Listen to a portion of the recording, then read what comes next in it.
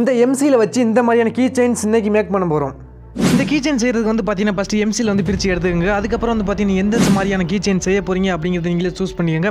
நான் வந்து பார்த்தீங்கன்னா வாட்ஸ்அப் எமோஜி சைஸ்லான ஒரு கீ செயின் மேக் பண்ண போகிறேன் அதுக்காண்டி வந்து பார்த்தீங்கன்னா ஃபஸ்ட்டு அந்த எம்சியில் வந்து ரவுண்ட் ஷேப்பில் வந்து பார்த்தீங்கன்னா கொண்டு வந்து அதுக்கப்புறம் வந்து பார்த்தீங்கன்னா அதில் ஹார்டின் ஷேப்பில் ரெண்டு கண் வந்து வச்சு அதுக்கப்புறம் வந்து பார்த்தீங்கன்னா அந்த எமோஜியில் ஒரு வாய் வச்சு விட்டு சூப்பராக வெஞ்சு பார்க்குறதுக்கு அதுக்கப்புறம் உங்கள் வீட்டில் இந்த மாதிரி பின்னு கண்டிப்பாக இருக்கும். இந்த பின்னை வந்து கட் பண்ணி மேலே அந்த எம்சி மேலே குத்தி விட்ருங்க தேவைப்படும் கண்டிப்பாக இதுக்கு சொல்கிறேன் அவ்வளோதான் ஃப்ரெண்ட்ஸ் இதுக்கப்புறம் வந்து பார்த்தீங்கன்னா ஒயிட் கலர் பெயிண்ட் பண்ணிடுங்க ஒயிட் கலர் பெயிண்ட் பண்ணதுக்கப்புறம் உங்களுக்கு பிடிச்ச மாதிரி கலர் பெயிண்ட் பண்ணிக்கோங்க. அதுக்கப்புறம் வந்து பார்த்தீங்கன்னா நமக்கு சூப்பரான கீச்சன் கிடச்சிருச்சு பார்த்தீங்களா ஸோ வீடியோ பிடிச்சா லைக் பண்ணிடுங்க இன்னும் டீட்டெயில் தெரிஞ்சவங்க வச்சுக்கோங்க புல் வீடியோ லிங்க் வந்து கமெண்ட் பாக்ஸில் பின் பண்ணியிருக்கேன். மறந்துடாம பாருங்கள்